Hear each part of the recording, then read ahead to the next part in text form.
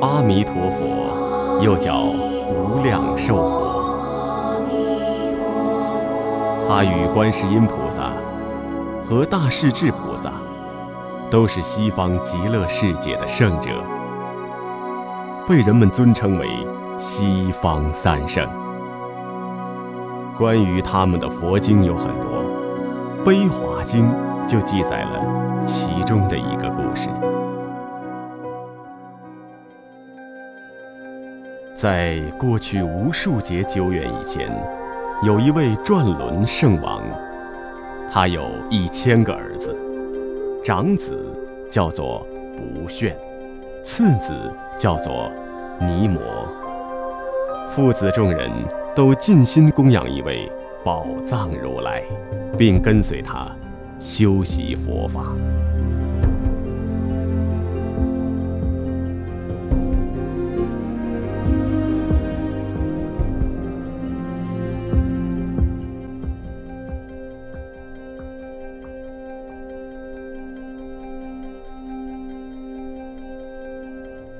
这位转轮圣王在宝藏如来前发下了成佛的大愿，世尊授记他将在未来成为无量寿佛，国土的名字叫做极乐世界。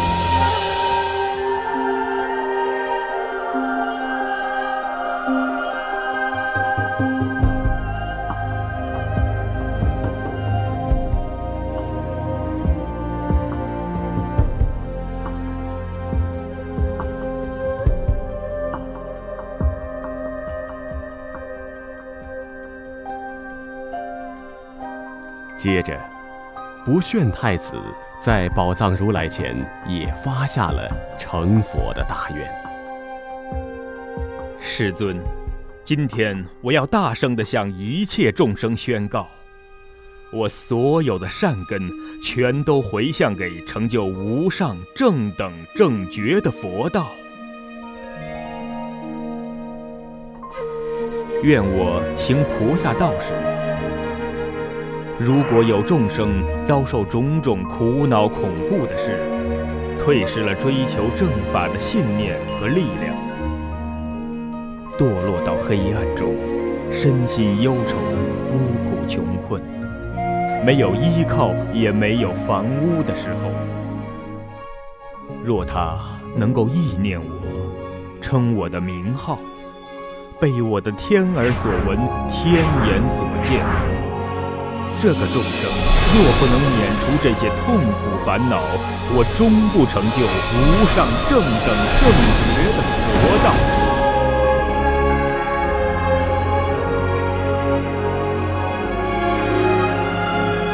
世尊，我今天还应当为了众生，发起最殊胜的大愿。如果。无量寿佛在西方极乐世界完成了度化众生的佛事，进入涅槃后，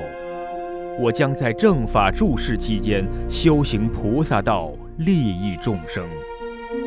当无量寿佛的正法在初夜灭去时，我将即刻在后夜成就佛道。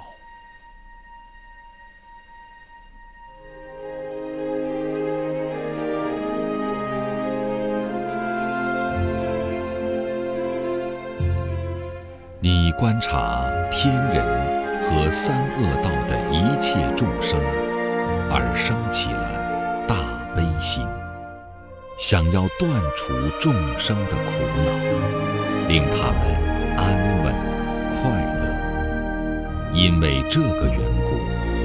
我今天当命名你为观世音，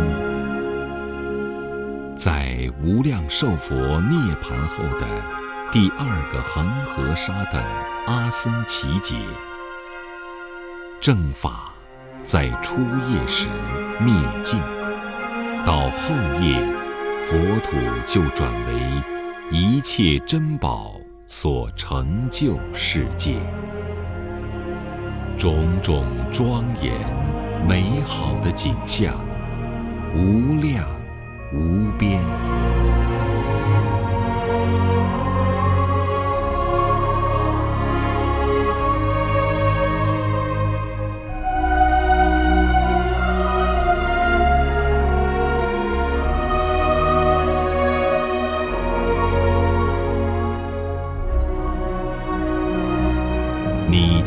菩提树下金刚座上成佛，名为变出一切光明功德山王如来，寿命长达九十六亿那由他百千劫，涅盘后正法住世六十三亿劫。